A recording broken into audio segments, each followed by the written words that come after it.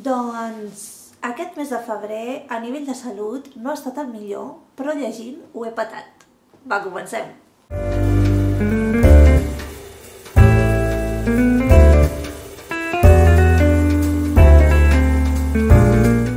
Com us deia, he tingut molt bon febrer. He llegit Estem fosquíssims! Mare meva! Un moment. Ja us vaig comentar en el vídeo anterior que estava molt enganxada a la saga de la senyoreta Bankel. Segurament ara al mes de març faré una pausa de la Bàrbara Bankel perquè vull fer el març asiàtic, que segurament a l'abril eh, intentaré acabar-me la saga. Aquesta part ens trobem que la guerra ha arribat a la vida de la Bàrbara i a la dels seus veïns, però tot i així es manté el to d'humor i lleugeresa en la història, tot i que la guerra es veu reflexada en la vida de tots els protagonistes. Segueixo molt convençuda de fer un vídeo resum de totes les lectures de la Bàrbara Bankel, perquè us en vull parlar més profundament tant d'ella com de la Dorothy Emily Stevenson perquè ha estat una sorpresa per mi i, i crec que té un públic eh, esperant-la que són aquest tipus de lectors que disfrutem amb les lectures on sembla que no passi res, però sí que passen moltes coses. A veure com us explico això que vindrà ara, perquè aquesta lectura ha estat una sorpresa. Vinc, a més, amb una opinió que no diré impopular, però sí que no coincideix 100% amb la que he sentit o amb la que he vist a la majoria de lectors um, que eh, disfrutem amb aquest tipus d'obres eh, i amb aquestes autores. Parlaré de Cims borrascosos de l'Emily Bronte. Jo havia llegit eh, Cims borrascosos fa bastants anys, mm, estic parlant de 10 o 12 anys tranquil·lament, així que mira tu per on, encara acabaré sent una lectora de relectures. Potser és una mica agosarat eh, donar-me el títol amb la segona relectura que faig a la meva vida, però per alguna cosa es comença.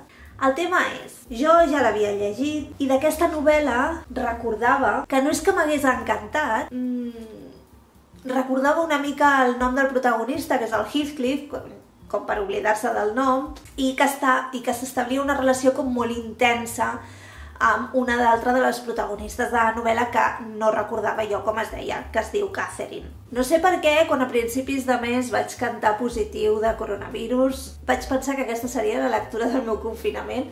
No sé quin tipus d'associació vaig fer o el meu subconscient va fer.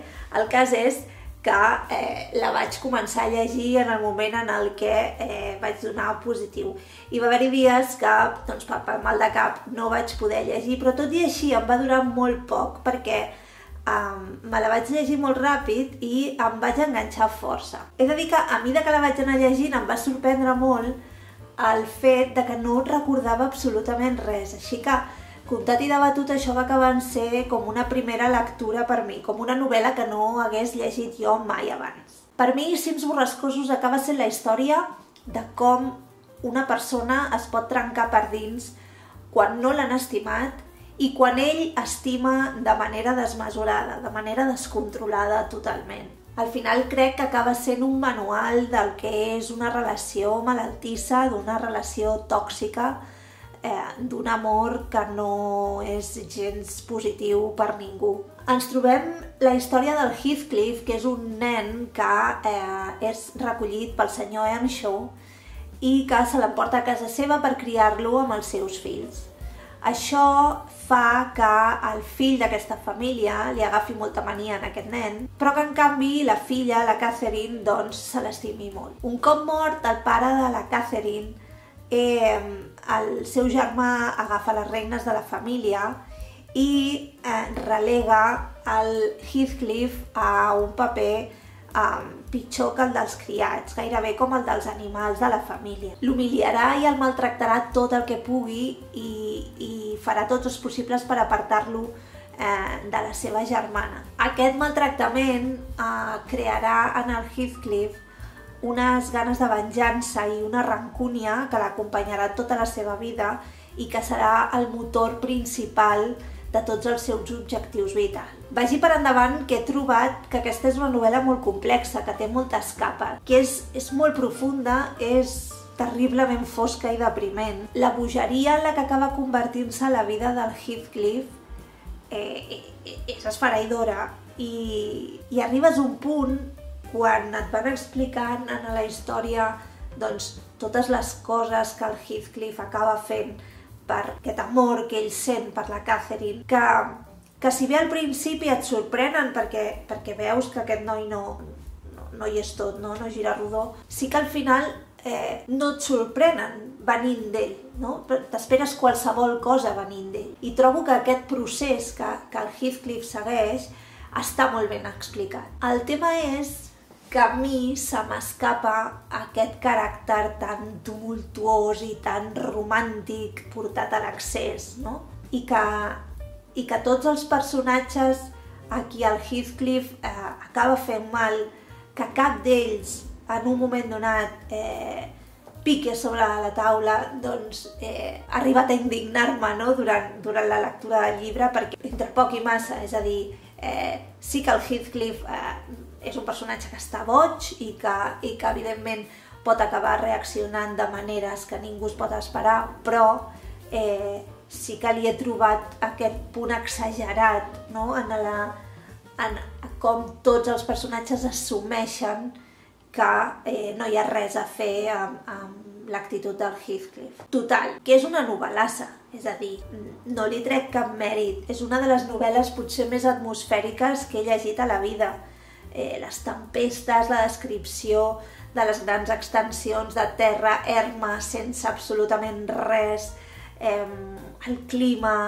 Mm, és, és, és molt atmosfèric, està molt ben explicat. Però a mi um, la manera d'escriure de l'Emily Bronte em sembla més enrabassada que la de les seves germanes, totes dues, tant l'Anne com eh, la Charlotte. No, no és difícil, no és una no és una lectura complicada a nivell formal, es llegeix bé, està super ben escrita, o sigui, no, no seré jo la que ara vingui a dir que aquesta senyora no sabia escriure, no.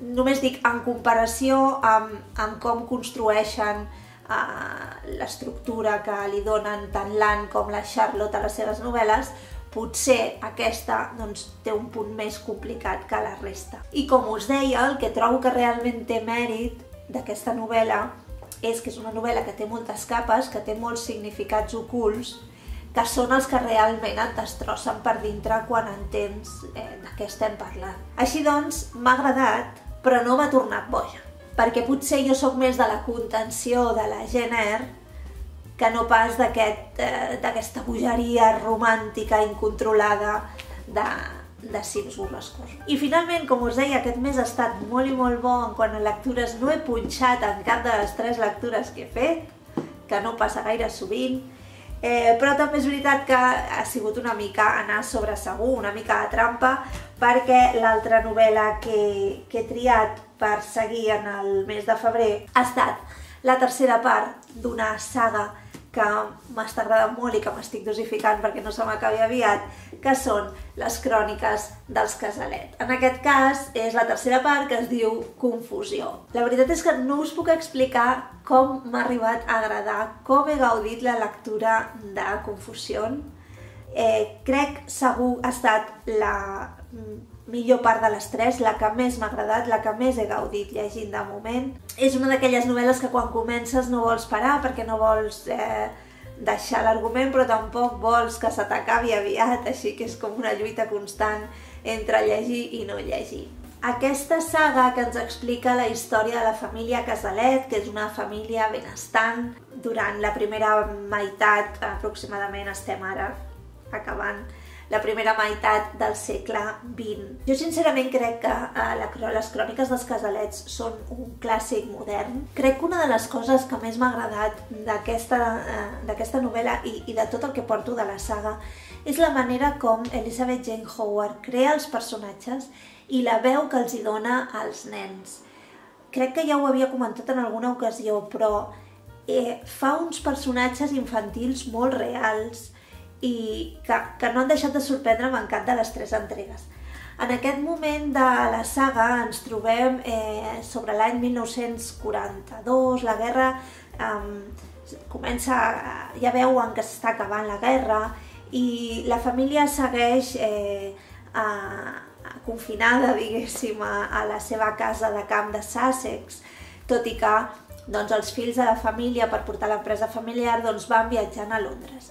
I diguéssim que en aquest punt tots els personatges eh, en algun punt de la seva vida doncs estan passant una situació confusa eh, que a més doncs, la situació de guerra que es viu no ajuda. És en diferència la saga familiar que més m'ha agradat de totes les que he llegit. Podeu trobar una adaptació en sèrie de, diguéssim, més o menys eh, les dues primeres entregues i una miqueta d'aquesta, tot i que no és fidel al 100% a l'argument, crec que està filmint. Ha sigut una lectura que m'ha fet eh, estimar molts personatges, odiar-ne un parell o tres, i amb molta intensitat, una cosa que m'ha sorprès perquè eh, sí que normalment tendeixo a empatitzar amb els personatges però no agafar-los aquesta tírria que en tinc, que tinc per algun dels, dels personatges de la família i està tan ben escrita que tens la sensació que, que no passen coses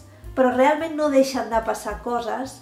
I està tan ben distribuït uh, per, per capítols, alguns capítols on parla de tota la família i alguns capítols on parla de determinats personatges, de quina és la situació que estan vivint determinats personatges, que en cap moment eh, et, et lies o, o et perds, no? Està, està com molt ben ordenat, tot molt ben distribuït. Com us deia, només me'n queden dos de, de les cròniques dels Casalet Uh, jo me'ls volia llegir un per any, més o menys, perquè em duressin una mica, però és que aquest ha acabat en un punt molt interessant i crec que no deixaré passar gaire temps abans d'agafar la quarta entrega.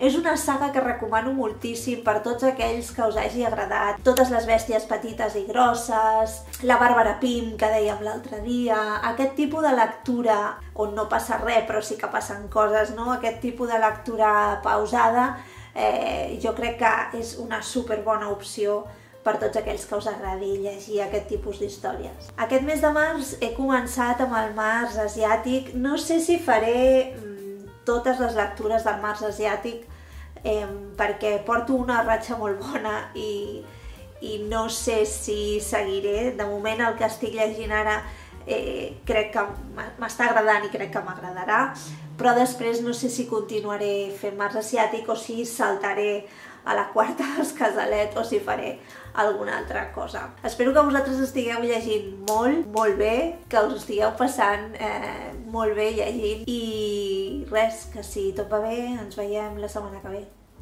Adéu!